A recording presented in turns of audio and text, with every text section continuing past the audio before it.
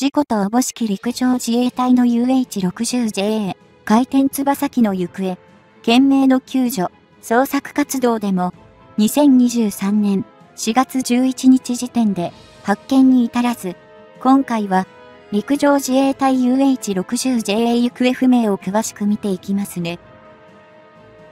この時何が起きたのか、3トン空母や中国軍艦など偶然なのか。真相は、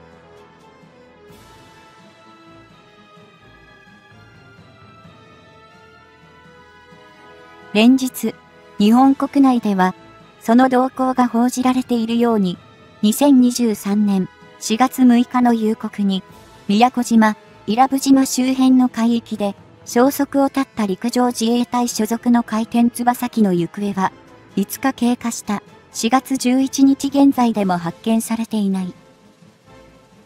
消息が不明となっているのは、陸上自衛隊の回転翼機である UH-60JA が1機であり、4月6日の15時46分頃に、航空自衛隊の宮古島の分、ダムロ地を離陸した後、8分後の15時54分頃に行われた無線通信を、最後に行方がわからなくなっている。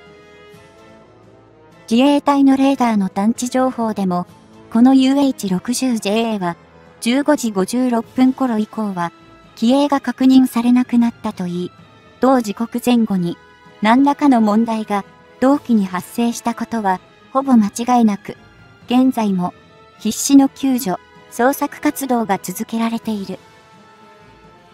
今回消息不明となった陸上自衛隊の UH-60JA には、この2023年3月末に着任したばかりだった同隊の第8師団のトップ、坂本師団長以下、10名の隊員が乗り込んでいたとされ、宮古島を訪れたのは、就任に際しての視察が目的だったという。陸上自衛隊の第8師団は、熊本県以南の九州南部に拠点を構える部隊であるが、近年、日本の防衛の最前線となっている南西諸島の島嶼部への即応を担う部隊でもあり、有事の際には、その地域への展開を行う任務に従事する。こうした陸上自衛隊の坂本師団長のような上級幹部が、今回の UH-60JA には登場していたこともあり、通常という表現はおかしいとは思うが、自衛隊機のトラブルとしても、日本国内での字幕を一層集めた感は拭えないだろう。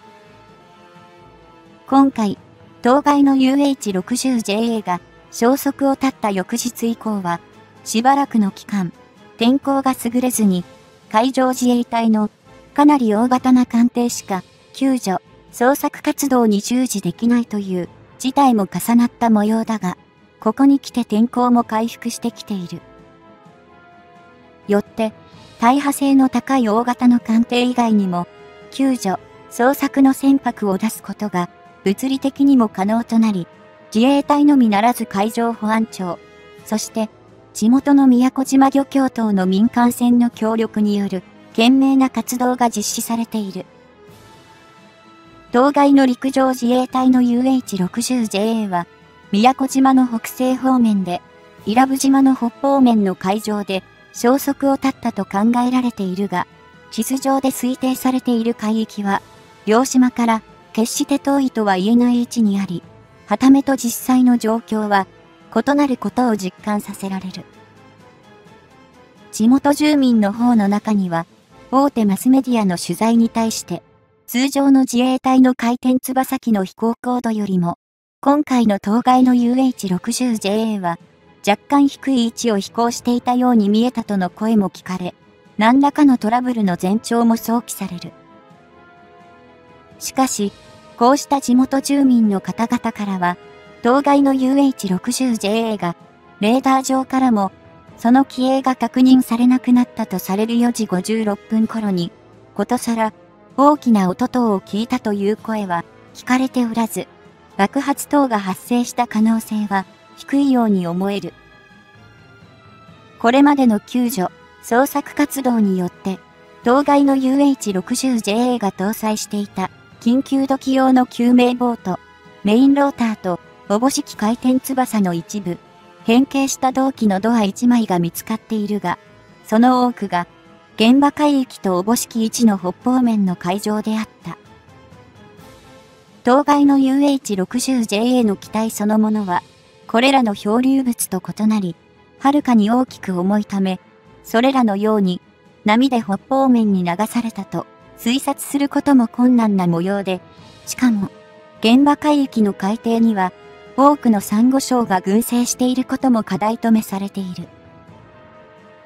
さて、陸上自衛隊の UH-60JA であるが、この回転翼機は、1997年から配備が開始された機体で、全長は19.76メートル、全幅は16.36メートル、全高は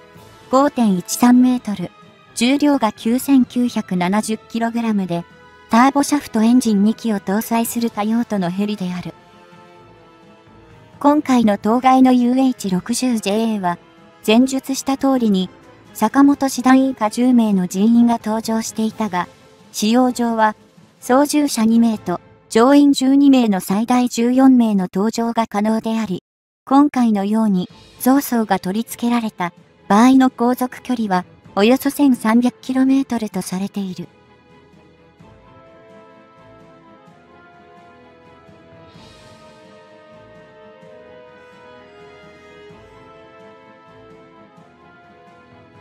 UH-60JA は、大本はアメリカのシコルスキークラフト社が開発した UH-60 ブラックホークをベースに、日本が独自に陸上自衛隊の使用に合わせてライセンス生産を行った機体で、1機あたりの調達単価はおよそ38億円と非常に高価でもある。このように UH-60JA は高価な機体であるため、陸上自衛隊では、前級の UH-1H を当初は全て置き換える予定を立てていたものの果たせず、およそ1機あたり12億円と安価な UH1J との並行調達を行い、UH60JA は40機の導入に止められていた。UH60JA のベースであるシコルスキークラフト社の UH60 ブラックホークは、アメリカ軍使用では、対戦車用のミサイルランチャーやロケット弾ポット等を標準で装備しているが、陸上自衛隊では予算不足で、そうした固定兵装は見送られている。そのため、陸上自衛隊の UH-60JA においては、武装としては、必要に応じて M20 機関銃やミニミ系機関銃を側面のドア及び専用ドアに搭載する形式を採用しているのみであり、その意味で、攻撃ヘリ的な運用を行える機体ではない。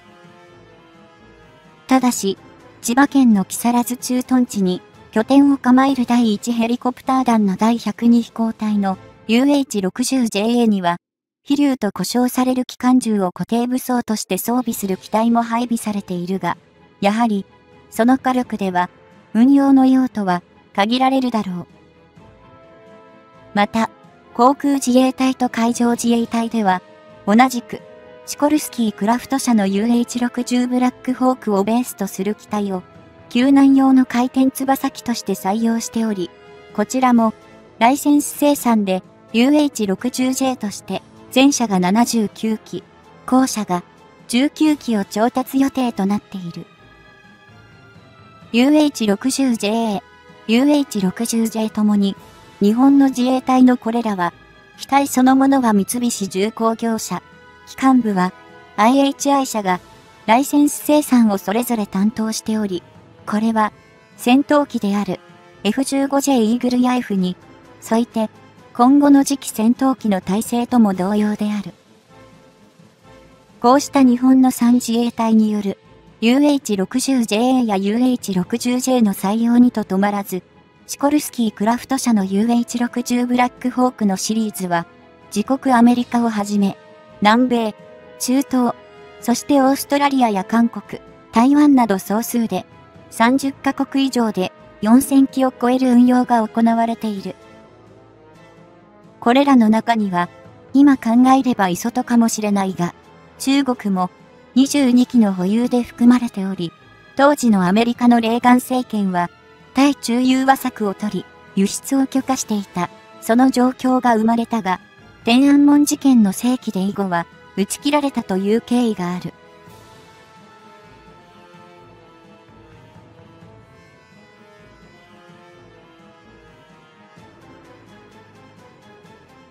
さて、今回、宮古島、伊良部島周辺海域で消息不明となった陸上自衛隊の UH-60JA をめぐってだが、その発生が報じられた直後から、日本の一部の SNS 上では、その原因を中国軍による攻撃で撃墜されたとする憶測が蔓延、氾濫している。